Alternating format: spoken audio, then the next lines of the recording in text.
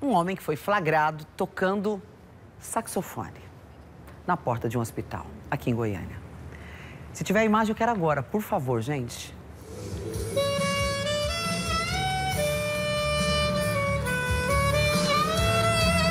Essa música é maravilhosa, né?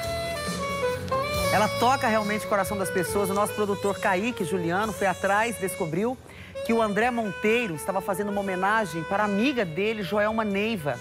A Joelma estava fazendo um tratamento contra a leucemia, ficou 17 dias internada, mas teve a morte cerebral confirmada pelo hospital. Fica aqui o nosso sentimento, especialmente uma extensão desse sentimento de amor, né? Que esse amigo teve pela, pela amiga, independente de qualquer coisa. Porque quem está ali, sempre quem está internado, gente, é algum problema, ou seja, pouco de saúde ou aquela situação crítica. E em todos os casos, uma canção dessa não chegou somente até o coração dessa amiga que partiu, de alguma forma que tocou, mas a todo mundo que está ali precisando de oração, precisando de uma canção para poder amenizar a dor que está no coração.